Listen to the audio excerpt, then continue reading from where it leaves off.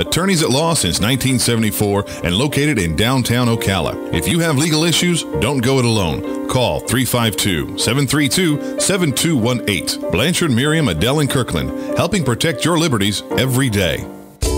Hooray for all the moms in our lives. Right from the start, she was the one who nurtured you and supported you in every pursuit. This year, you are going to cater to her. Call Honey Baked Ham at 352-861-0011 and order all her favorites. If it's just the two of you or the whole family, this is her day. And Honey Baked Ham makes it easy for you to pamper mom. Now call 352-861-0011. Or stop by 2709 Southwest 27th Avenue behind Best Buy. Ready? Broadcasting from the Paddock Mall Studios, this is WOCA, Ocala, Gainesville, The Villages, 1370 AM, 96.3 FM, The Source.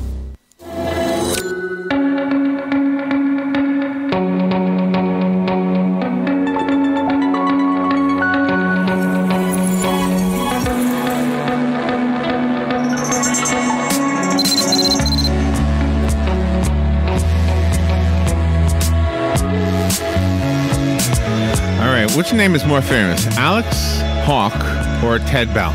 Ooh. When when your creation uh, becomes more famous than yourself, then I think you know you've you're successful. Yeah. Right? Everybody wants to know when we're speaking to Alex Hawk. We're not speaking to Alex Hawk. No. We're speaking to Ted Bell.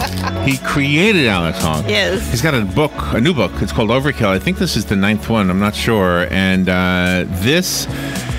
You know how you know when you have a, a guest with a popular book, it's when the phone lines keep calling. uh, When when are you going to have him on? When are you going to have him Yeah, on? But the one, one caller did ask, when is Alex Hawk coming on? So Yeah. I think he'll find that funny. Ted. Ted's been with us before, actually. It's always an honor to have him on. He is truly one of the superstars in the book business. Um, Ted Bell, good morning, sir. How are you? I'm great. I'm great. Thank you very much for having me back. Yeah, uh, it- you you don't really have Alex Hawk with you, do you? Just just. or maybe, well, actually, he's all, he's actually all, he's actually always with me. in a sense, that's, Right. that's right. That's right. Um, He's you, my, al- he's my alter ego. You know? is that right? I mean, do you kind of live we through him? travel together. That's right. Yeah. I, What the guy's life is unbelievable. in, in I would kill to be him. what the, of the things you make him do? What things would you do you wish you really could do? I have a 300 foot yacht.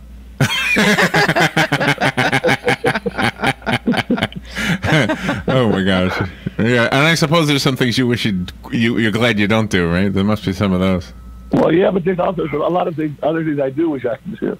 But um, yeah, he leads a great life. I I, I, live vicariously through it. Um, uh, so where are you right now? Where do you where do you live? I have a, I have a, uh, like a 200 year old farmhouse in, in the country in Connecticut, and um, it's a great little place to write books and uh, hang out. I'm getting a dog uh, next month. Oh. Um, I'm a happy camper. How come next month? Why are you waiting for the next month? Well, the, the litter, the litter, the litter is being. Oh, oh, oh my gosh! That sounds so comfy, comfy, doesn't it? Where where in Connecticut are you? Give me an idea. I'm sort of familiar with Milf. I know Milford is all I know, and Bridgeport. Okay, well, okay. So I'm I'm just outside of Greenwich. I'm in backcountry Greenwich, Connecticut, in the southern part. Okay, okay. Boy, that sounds really pretty. Um, It's great. are you on this on Long Island Sound?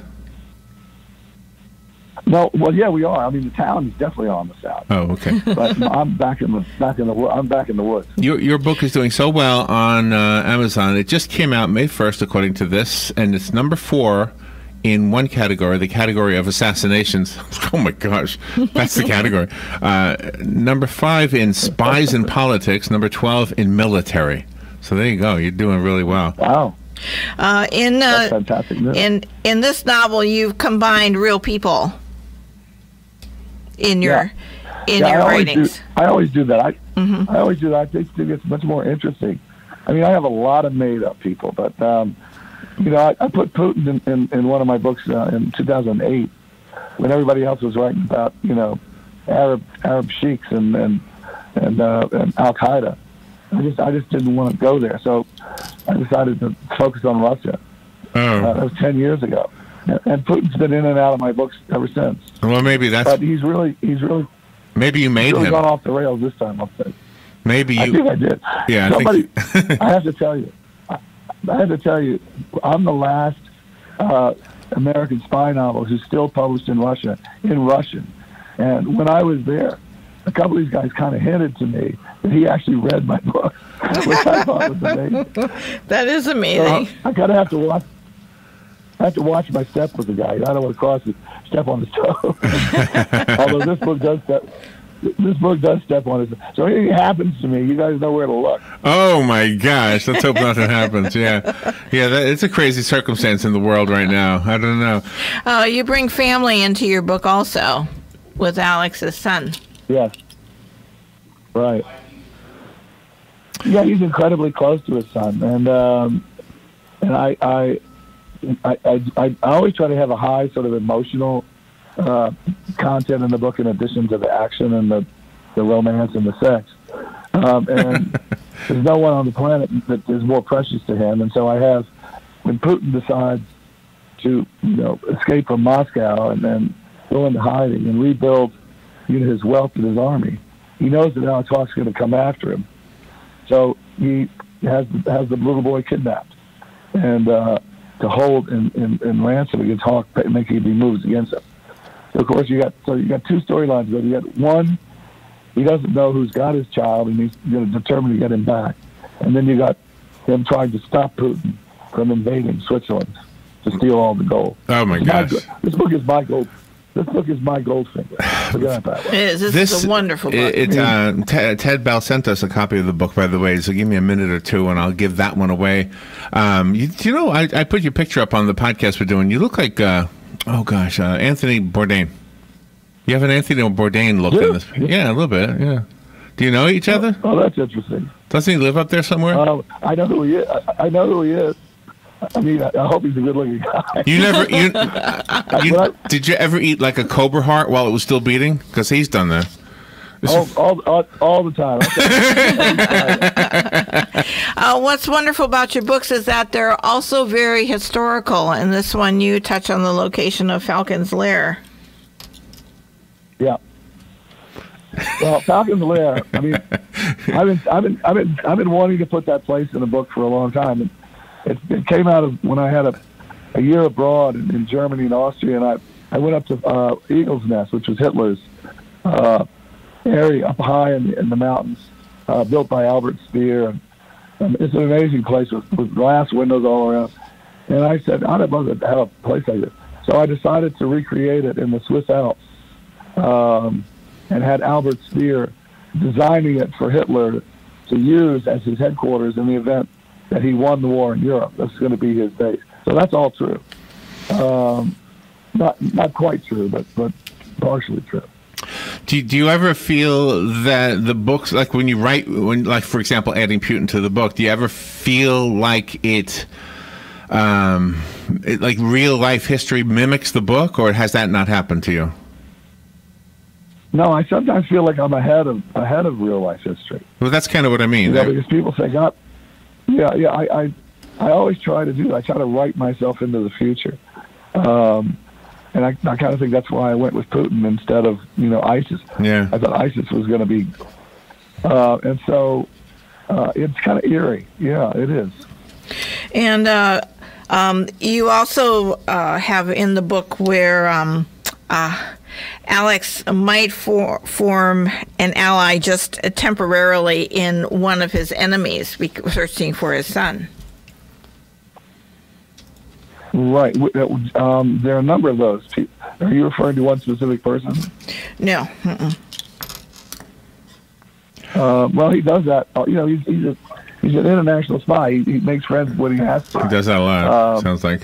So, well, he's yeah, yeah, exactly.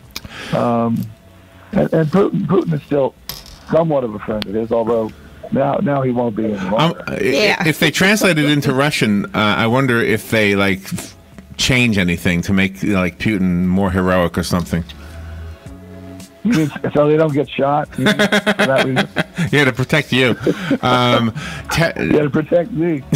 I have a copy of the book. It's called Overkill. It's written by Ted Bell. He is a superstar in the world of books. Sorry about that. Um, and if you would like the copy that was sent to us, please call right now 622 9622. We'll leave it here for you.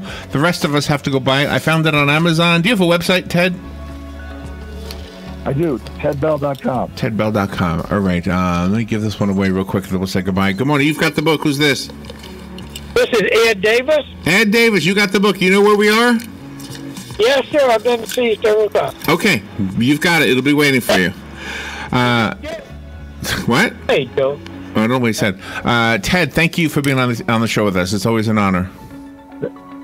Thanks to tell your fans that Hawk the movie's coming out summer 2019. You're kidding. The movie. Oh, wow. That's No, exciting stuff. Dead, dead serious.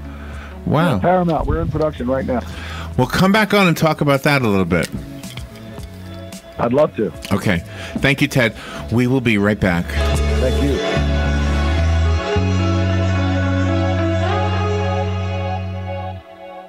First and third Wednesday mornings of each month at 9.05, Robert Colin will be with us from On Top of the World, Ocala's premier active adult community. Be sure to listen and be sure to call in. Speak with Robert to learn about all the exciting lifestyle and new home choices available at On Top of the World. From time to time, Robert will have guests, and we're sure you will enjoy our little chat. You deserve the world, and we bring it to you. So be sure to tune in on the first and third Wednesdays of each month right here on The Source, WOCA. Hi, this is Lisa McGinnis, editor of Ocala Magazine and host of Ocala Magazine Radio.